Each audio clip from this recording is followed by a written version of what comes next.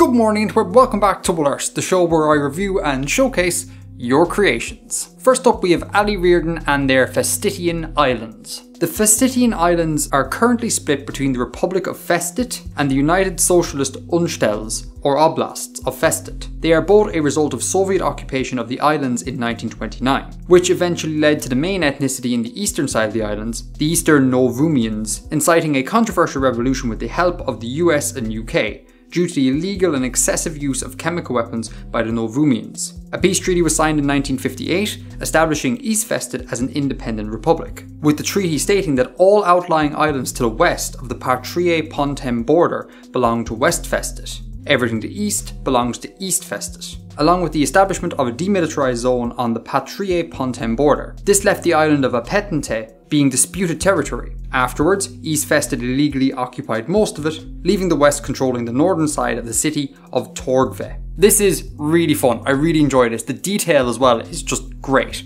Ace. I really like the naming convention you got going on here, it feels really Germanic to me. Places like Trocken, Port Meer, Unfruchtbar, these all feel like either straight up German words or plays on German words. Trocken meaning dry, Meer meaning sea, Unfruchtbar I think signals something like barren. So yeah, pretty cool. This is clearly like an alternate Earth scenario, so I was trying to place where these islands would be. I figure here is the most likely location, given that you name the Norwegian Sea and the North Sea. I wonder if I'm correct about that. One minor criticism I have will be include a scale bar. It would be really interesting to see how large these islands are. Other than that, I thoroughly enjoy this. Great map making. Next up we have Aarav Paul who submits some grammar changes from their language, Kahayo. Originally, Kahayo was a purely ergative absolutive system. This is because I tried to make the system Earth-like and not Earth-like at the same time.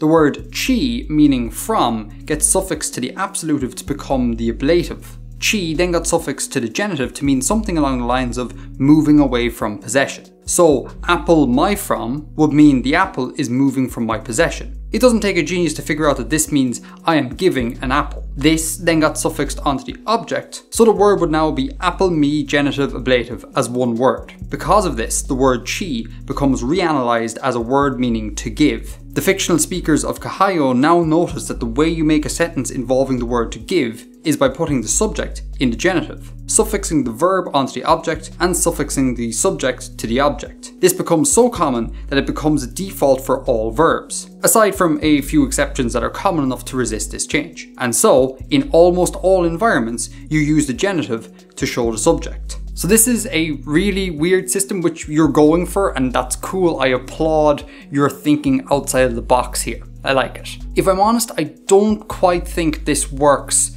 in the current form you have it. There's mainly two reasons for this. First reason is your example sentence of apple my from, that being interpreted as I am giving an apple, is kind of weird because apple my from isn't a verbal phrase. Like if anything, I would hear that and think the apple that used to be mine, like an adjectival phrase. So I think it's a little bit strange that your speakers interpret it that way. Perhaps look at reworking that slightly. The other issue I have is that I think statements of giving are not used frequently enough in order for speakers to then take their construction and make it default across the board. So I think you may need to come up with another justification there as to why it becomes so common. And also, slight point that I, I think you're aware of, but just to put out there, if the genitive is used to show the subject, it's not really the genitive anymore, it's just a marked nominative. It's cool that it came from the genitive, but it still would be, the speakers would still think of it as just being a marked nominative. But again, I applaud you for thinking way outside the box here. That's really cool. I hope you can make it work. Next up we have Kate Harrison who submits the universe. The universe we live in is finite. It doesn't have an edge, but its volume is only 100 million cubic miles. This is the topology map of the surface. When you go on one side long enough, you will either just go back to where you started or get flipped. So your heart would be on the right instead of the left, which is very illegal because it means your chirality is flipped, which means things you eat will not chemically mix well. For example, some chemicals like mint will taste different, like licorice. I think that's an upgrade, just me personally. But other stuff that is normally harmless can be deadly. Some medicine that helps with smelling issues can cause brain damage. So it's illegal because we want things to be safe to eat and heal. So far science hasn't explained two things. the force that pulls us down, and the gates of enough. The force isn't that interesting, it just happens to be something all quantum particles besides light obey. The gates are much more interesting. The 12 gates are shaped like a star. The 5-2 star is known as the pentagram. The 7-2 and the 7-3 are the ones I like the best. But the gates are the 6-2 star, also known as the symbol of enough. I tried to find out more info about enough, but all I found was that it either means that this world is enough for us, or this is our last chance, this is enough. I found the info from the 10 oldest religions in the world. So this is also weird and also really interesting. The most interesting thing about this, guys, is that this submission comes from a 13 year old. Now, I don't know about you, but I was 13, I was like, what, like picking my nose?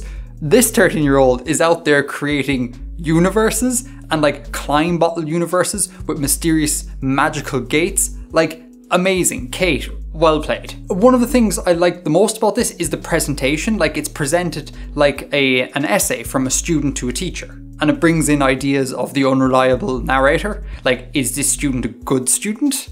Maybe the universe isn't like this at all. They've just like failed miserably in doing their research. What you got here is a really fun idea, and the presentation is also really fun. Well played, Kate. Next up we have FCS Omega with their Erian phonology and romanization. Could you review my conlang? It's called Erian. It's my first so be lenient on mistakes but harsh on criticism. So I have three things to say about the phonology. One, the is a really rare sound. We have it in English, but cross-linguistically it's extremely rare and also quite difficult to pronounce. So consider ditching it. Also consider adding in a in your vowel inventory. It feels weird that it's missing. You also have ejectives now I would ditch those as well, particularly given that it's your first conlang. Stay away from all the exotic stuff.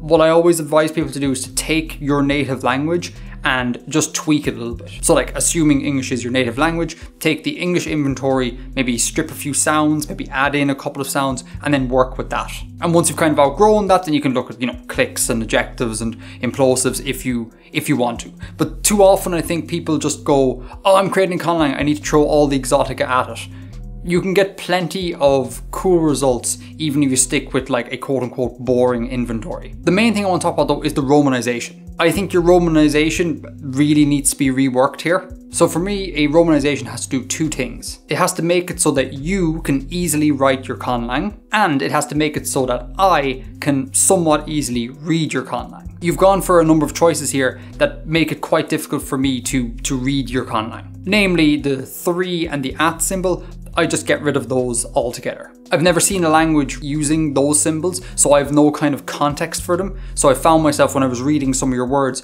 continuously going back and checking, wait a minute, what does tree actually mean? What does at sign actually mean? So straight off the bat, get rid of those and things will be improved greatly. Also, aspiration is usually romanized as a H after a consonant. You have the reverse. That's kind of weird and counter to the expectation I would have going into reading a conlang. And it's definitely a bit strange and jarring that you use consonant plus H to signal ejective.